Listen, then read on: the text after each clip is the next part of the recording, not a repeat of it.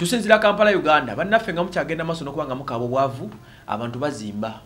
Katukkirireko ewomuna mulenzi kibu wano omutabani amanyikiddwa nga diamond platinum ayongedde okukakasa ensi eno ndi wamaanyi era sente ayina.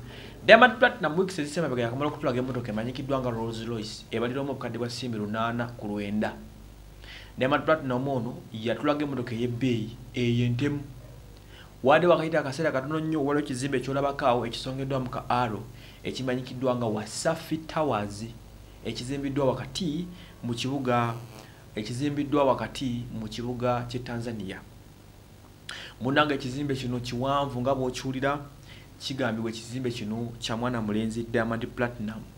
Ekizimbe kino kiwanvu nga bw'okiwulira kya bukadde na bukadde obw'ensimbi tawa ezimu ku zigenda okubeera nga zisinga obuwanvu mu kibuga bibuga by'e tanzania ekizimbe kino kyataddewo.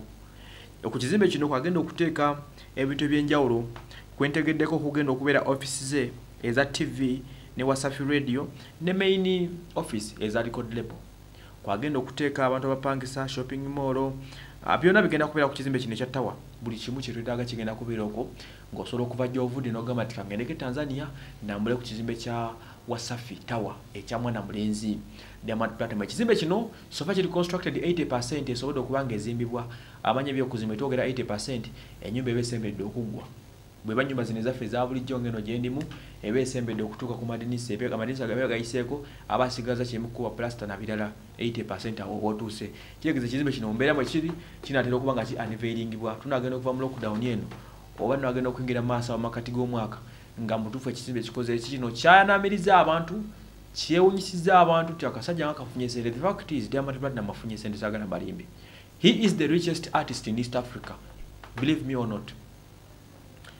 Nasemba okumanya nga azita obukadde nga butano bwa dola oyo lodi golaba. Alina radio alina tv alina company ekola perfume za kibu kivu bazita kibu perfumes. Alina diamond karanga ekola ebyokulya alina emmotoka ez'enjawulo alina amayumba ag'enjawulo gakwasaganyizamu ebintu bye alina online music platform etunda ennyimba alina omukutu gwa youtube channel ezimu kuzimu okubeereza akabi mu east africa ng'emukolera obusitimbe n'obusitimbe bw'ensimbi nga bw'okiwulira. Alina ennyimba ezimu kusinga performinga ye the most expensive artist in east africa. Tebambukisa nusu kasanvu bambukisa mitwalo na mitwalo gya nsimbi. Mujjukira lojana okuyimba yasaba ena. Oba okitegeera. Lwe yagenda okuyimba wano okusiro yagundi yasaba gumu bbiri kwano kasooka kuno omusajja ani?